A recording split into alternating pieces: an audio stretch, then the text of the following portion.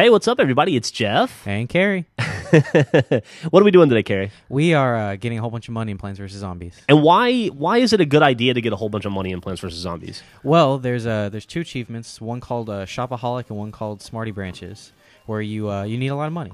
Smarty branches. Yeah. So it's basically like you got to buy everything in the in the car store Uh, for the most part, for uh, Shopaholic, you have to spend uh, twenty five thousand or more, and for uh, Smarty Branches, you have to uh, spend two thousand five hundred a hundred times. if there was a real life achievement to spend twenty five thousand dollars, my wife would hit it like twice a year.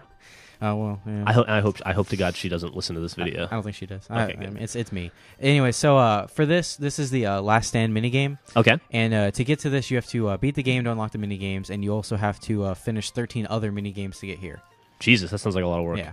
So uh, what this does is you get uh, 5,000 suns at the beginning of the level, and you get to plant whatever you want, and then they just send waves after wave after you uh, over and over again. So what I did was that whole back half is all uh, the uh, marigolds, which give you uh, they just spit out money the whole time. Okay. Uh, and obviously you're gonna need lily pads for this too. Uh, the uh, the purple guys are called fume shrooms, and uh, four of them I upgraded to gloom shrooms so that they will uh, spin all different directions. Hey man, I didn't name these.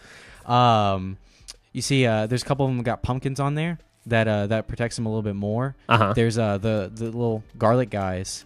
They will uh, push them into the lanes that we want them to be in. Oh, is that what they do? Yeah, and you need uh, coffee beans to wake up all of the mushrooms, and you need uh, magnets to uh, yank off helmets and whatnot. And then, so how much money do you get? Uh, about eight thousand to ten thousand each round. And how long? game? How long is a game? Uh, five minutes maybe. Oh, that's pretty fast. Yeah. All right, cool.